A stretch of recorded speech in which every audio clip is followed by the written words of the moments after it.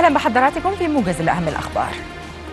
هنأ الرئيس عبد الفتاح السيسي الشعب المصري بذكرى ثورة الخامس والعشرين من يناير وأكد السيسي خلال كلمته في احتفالية عيد الشرطة السادس والستين بمقر أكاديمية الشرطة أن ثورة يناير سعت لنيل الحرية والكرامة الوطنية والتي من أجل تحقيقها سال بعض الدماء.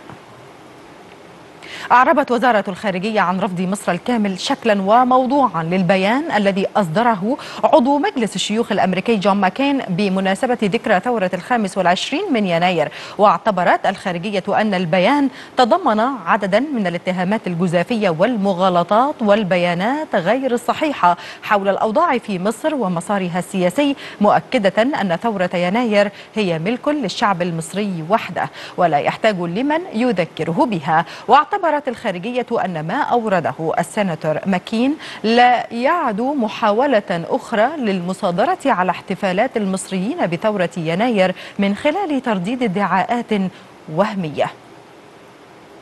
أكدت النيابة العامة عدم صحة الخطاب المنسوب إلى جهاز المخابرات العامة حول القبض على الطالب الإيطالي جوليو ريجيني قبل وفاته. وذكرت النيابة في بيان لها أنها تلقت من نظيرتها الإيطالية خطابا أرسله مجهول إلى السفارة الإيطالية في العاصمة السويسرية فيرن في هذا الشأن. وأكدت النيابة أن التحقيقات أسفرت عن التأكد من عدم صحة الخطاب المزعوم شكلا ومضمونا.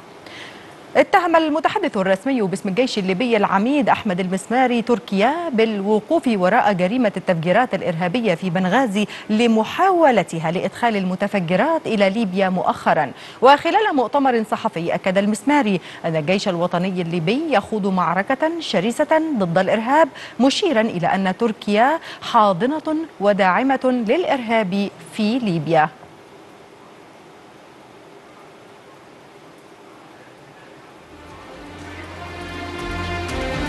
شكرا لطيب المتابعة أيضا لنا لقاء.